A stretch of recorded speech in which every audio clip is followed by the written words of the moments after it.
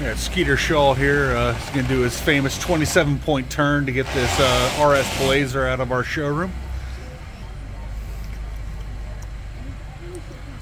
Good news is he's only hit the wall 50% of the time.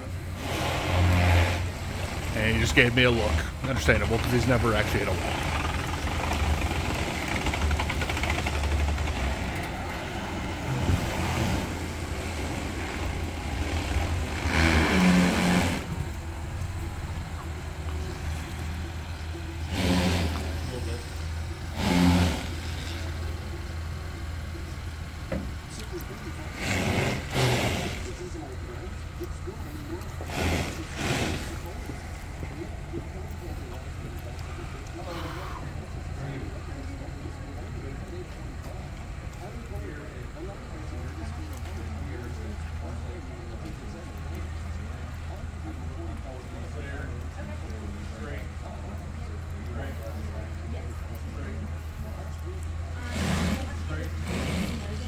Think he probably needed to start that turn sooner. He's not going to make it.